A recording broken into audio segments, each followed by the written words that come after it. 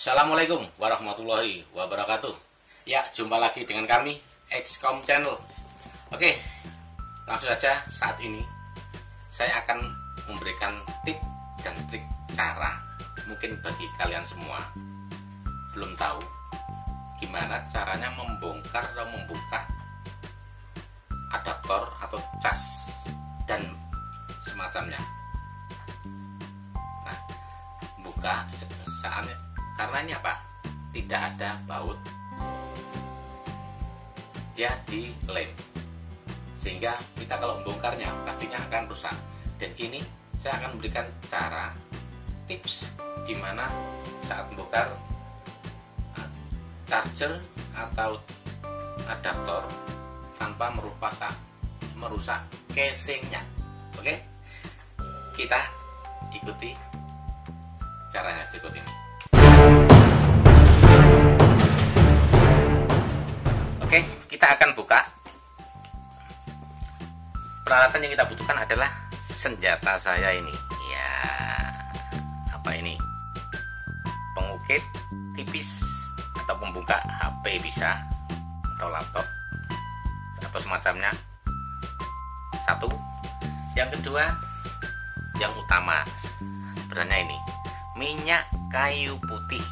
Ya minyak kayu putih bukan untuk obat gosok saja ternyata bisa buat untuk membongkar charger oke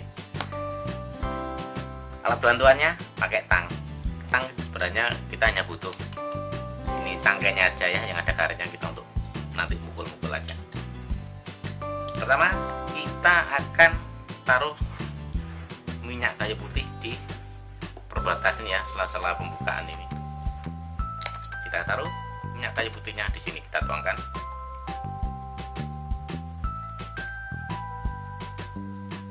Sampai masuk. Ya pakai tangan bisa. Sampai masuk.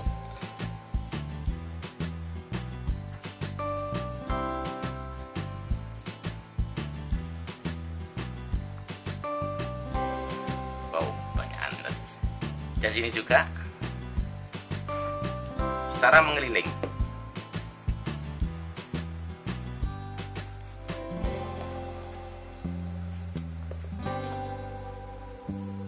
Habis itu kita tunggu beberapa saat dan kita pakai ini ya agar uh, minyak kayu putihnya bisa masuk ke sela-sela.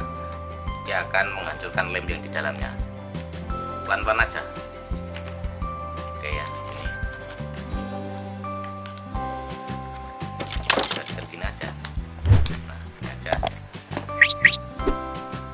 kita tambah lagi.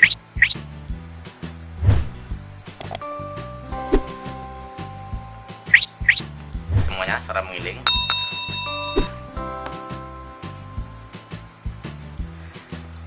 dan kita sambil kita pukul-pukul tok-tok seperti ini.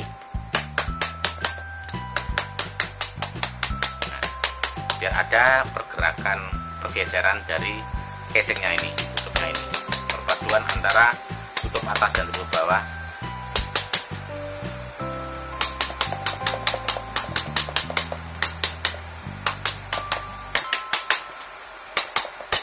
Nah kelihatannya suaranya sudah mulai uh, kayak terbuka gitu ya. Dan kita akan buka pelan-pelan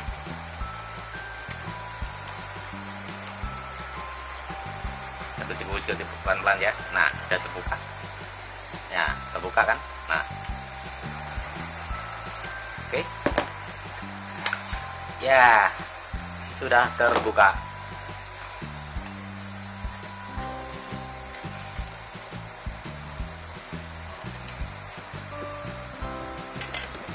Adaptor cas sudah terbuka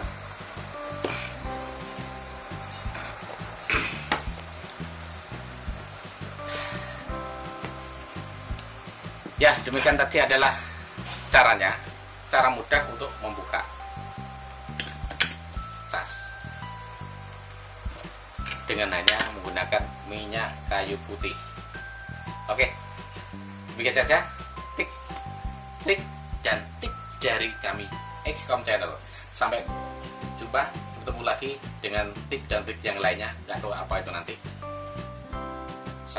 Wassalamualaikum warahmatullahi wabarakatuh wabarakatuh.